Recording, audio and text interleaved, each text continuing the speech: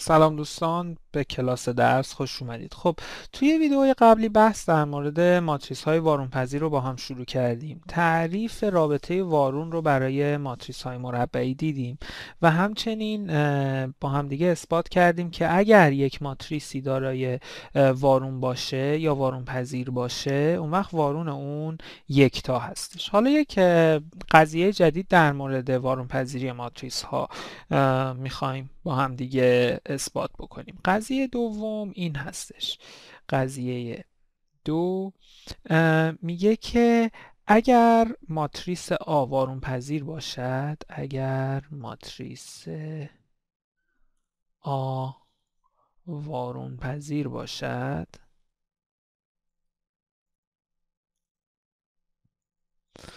آنگاه دترمینان ماتریس آ مخالف با صفر هستش.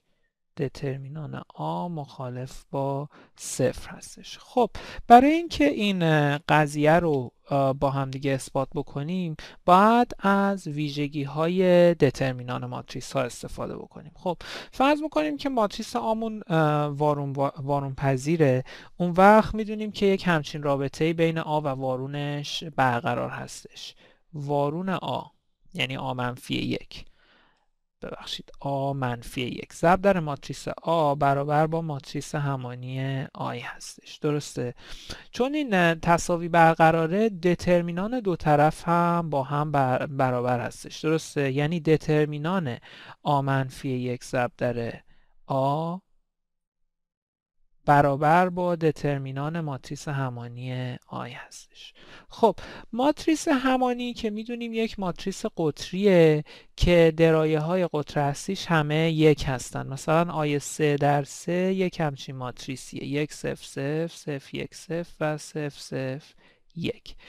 و می‌دونیم که برای ماتریس های قطری دترمینان برابر با چی هستش؟ برابر با حاصل ضرب درایه های قطر اصلیشون هست که چون برای ماتریس همانی همه درایه های قطر اصلی یکه پس دترمینان ماتریس همانی دترمینان آی از هر اندازه که می‌خواد باشه برابر با یک هستش. چون هست یک ضرب در یک ضرب در همینطوری الی آخر که مساوی با یک خواهد. پس سمت راست این تصاوی مساوی با یک از طرفی از خواص دترمینان می‌دونیم که دترمینان حاصل ضرب دو ماتریس برابر با حاصل ضرب دترمینان های تک تک اونا هست. یعنی خواهیم داشت دترمینان آ منفی یک ضرب در دترمینان آ مساوی با یک هستش درسته؟ خب هر کدوم از این دترمینان ها یک عدده و حاصل ضربشون مساوی با یک شده. پس هیچ کدوم از اونا نمی‌تونن صفر باشن. بنابراین دترمینان آ مخالف صفر هستش. درسته؟ خب این قضیه که ما اینجا اثبات کردیم که اگر یک ماتریسی وارون پذیر باشه آنگاه دترمینانش مخالف صفره در حقیقت به ما میگه که غیر صفر بودنه. غیر صفر بودن دترمینان ماتریس. یک شرط لازم برای وارون پذیری اون هستش. درسته؟ شرط لازم برای وارون پذیری ماتریسه. درسته؟ یعنی اگر دترمینال ماتریسمون صفر باشه ماتریس قطعا نمی‌تونه وارون پذیر باشه. اما آیا شرط کافی هم هست؟ آیا غیر صفر بودن دترمینان شرط کافی برای وارون پذیری هست؟ و جواب این سوال هم بله هستش. یعنی غیر صفر بودن دترمینان یک ماتریس شرط لازم و کافی برای وارون پذیری اون هستش.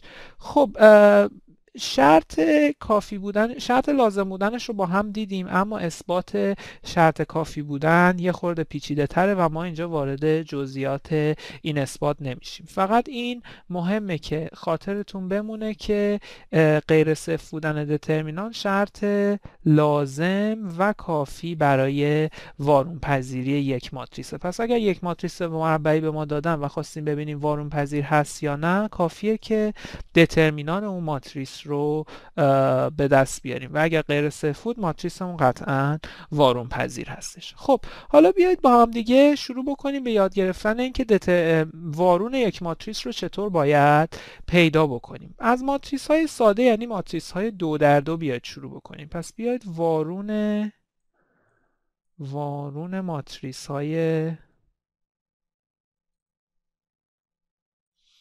دو در دو رو با هم دیگه به دست بیاریم. خب یک قضیه ما اینجا داریم که قضیه سه می نویسیمش و میگه که اگر یه ماتریس دو در دوی آ داشته باشیم آ که مساوی هستش با آ یک یک آ یک دو آ دو یک و آ دو دو و دترمینان آ هم مخالف صفر باشه که همونطوری که گفتیم شرط لازم و کافی برای وارون پذیر بودن آه آنگاه آ وارون پذیر است.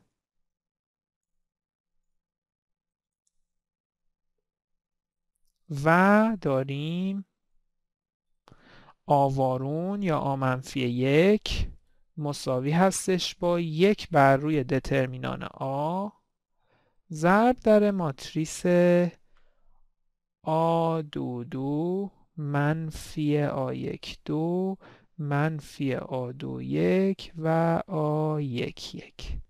پس وارون یک ماتریس دو در دو به شرطی که اون ماتریس وارون پذیر باشه برابر هستش با یک بر روی دترمینان ماتریس. ضرب در یه ماتریس دو در دو که نسبت به ماتریس اولیه دو تا درایه های قطریش رو جابجا کردیم یعنی آ دو دو اومده اینجا و آ یک یک اومده اینجا و دو تا درایه دیگر رو جاشون رو عوض نکردیم ولی هر کدوم رو قرینه کردیم یعنی منفی خودش رو گذاشتیم به جاش. خب بیاید ببینیم که این قضیه که اینجا نوشتیم می‌تونیم اثباتش بکنیم یا نه. برای اینکه اثبات بکنیم باید چیکار بکنیم؟ باید نشون بدیم که آ منفی یک. آ ببخشید من منفی کارهای بد می‌رسم آ منفی یک در آ مساوی با آی هستش و همچنین چی؟ آ در آ منفی یک هم مساوی با آی هستش درسته؟ خب بیاید این دوتا رو با هم دیگه سعی بکنیم نشون بدیم. از آ منفی یک در آ شروع بکنیم. آ منفی یک در آ. مساوی با چی می شود؟ یک برای دترمینان آ که یک عدد حقیقی این بیرون نگرش میداریم. ضرب در ماتریسی که خواهیم داشت چی خواهد بود؟ خواهد بود آ دو دو. در آ یک یک منهای آ دو یک در از می‌خوام آ یک دو در آ دو یک. درسته؟ درایه یک و دو چی خواهد بود؟ خواهد بود. آ دو دو در آ یک دو آ دو دو در آ یک دو منهای آ یک دو در آ دو دو. درسته. درایه دو و یک چی خواهد بود؟ خواهد بود منفی آ دو یک در آ یک یک منفی آ دو یک در آ یک یک به علاوه آ یک یک در آ دو یک. و نهایتا درایه دو و دو چی خواهد بود؟ خواهد بود منفی آ دو یک در آ یک دو منفی آ دو یک در آ یک دو به علاوه آ یک یک در آ دو دو درسته. خب هر کدوم از این درایه ها رو بیاید ببینیم چیه. این درایه هست چی؟ آ دو دو در آ یک یک منهای آ یک دو در آ دو یک. پس این در حقیقت طبق تعریف دترمینان آ هستش. درسته. درایه یک و دو چی خواهد بود؟ آ دو دو در آ یک دو منهای آ یک دو در آ دو دو. پس این درایه صفر هستش. درایه دو و یک چی خواهد بود؟ منفی آ دو یک در آ یک یک. به علاوه آ یک یک در آ دو یک. پس این هم صفر خواهد بود. و این یکی درایه هم اگر دقت بکنید دقیقا با درایه اول مساویه پس این هم برابر با دترمینان آ هستش. پس اگر بازنویسی بکنیم آ منفی یک در آ رو چی خواهیم داشت؟ خواهیم داشت یک بر روی دترمینان آ ضرب در ماتریسی که هست دترمینان آ صفر صفر و دترمینان آ. حالا اگر این یک بر دترمینان آ رو ببریم داخل و تو تک تک درایه‌ها ضرب کنیم به دست میاریم چی؟ به دست میاریم یک صفر صفر و یک که همون ماتریس آی هستش. درسته. پس آ منفی یک در آ مساوی I رو ثابت کردیم.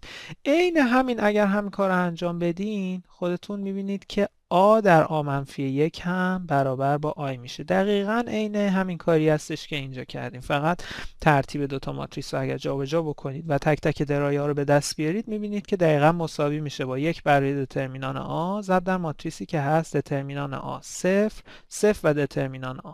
پس آ در آ منفی یک هم برای خودتون می‌تونید نشون بدید که مساوی با آی هست در نتیجه قضیه سه برقراره. خب بیایید با یک مثال هم این قضیه رو تست بکنیم. حالا که یاد گرفتیم وارون ماتریس های دو در دو رو به دست بیاریم.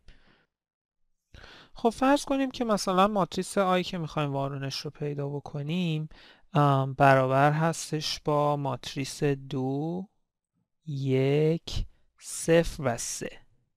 خب اول ببینیم این ماتریس وارون پذیر هست یا نه. دترمینان ماتریس آ برابر می شود با چی؟ برابر می شود با دو ضرب در سه که میشه 6 منهای یک ضرب در صفر که صفر هستش مساوی با 6 پس ماتریس چون دترمینانش مخالف صفر وارون پذیره بنابراین طبق قضیه 3 آ وارون برابر میشه با چی؟ میشه یک رو دترمینان آ یعنی یک شیشم در خب گفتیم جای درایه قطر رو عوض می‌کنیم. پس اینجا داریم 3 و 2 و درایه های دو, دو تا درایه مونده رو هر کدوم رو قرینه می‌کنیم. یعنی داریم منفی یک و صفر هم که قرینش میشه خود صفر. پس این آ منفی یک ما باید باشه. خب ببینیم هست یا نه.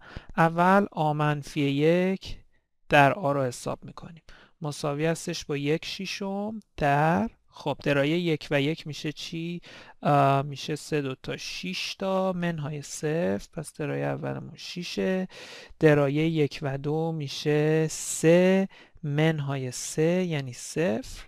درایه سوممون یعنی درایه دو و یکمون می شود چی؟ می شود صفر ضرب در دو میشه صفر به علاوه دو ضرب در صفر که میشه صفر صفر به علاوه صفر هم که می شود صفر و درایه دو و دومون میشه چی؟ می شود صفر ضرب در یک به علاوه دو ضرب در سه یعنی 6 خب یک شیشم رو هم اگر توی ماتریس ضرب بکنیم برابر با یک صفر صفر و یک میشه خب این از یه ور قضیه حالا آ در آ منفی یک رو حساب بکنیم آ در آ منفی یک می شود چی؟ می شود یک شیشم در خب درایه یک و یک می شود چی؟ میشه شیشه به علاوه صفر که میشه شیش درایه دو و یک و دو میشه چی؟ میشه منفی دو به علاوه دو یعنی صفر درایه دو و یک میشه چی؟ میشه صفر به علاوه صفر که صفر و درایه دو و دو هم می‌شود صفر به علاوه 6 که 6 هستش پس این هم برابر می‌شود با یک صفر صفر و یک پس همونطور که می‌بینید آ منفی یک. واقعا از اون چیزی که قضیه سه گفت به دست اومد. خب پس امروز شرط لازم و کافی برای وارون پذیری ماتریس ها رو یاد گرفتیم و علاوه بر اون یاد گرفتیم که وارون یک ماتریس دو در دو رو چطور به دست بیاریم. توی جلسه بعد در مورد وارون ماتریس های سه در سه با هم دیگه صحبت می‌کنیم. تو کلاس درس بعدی میبینمتون. خداحافظ.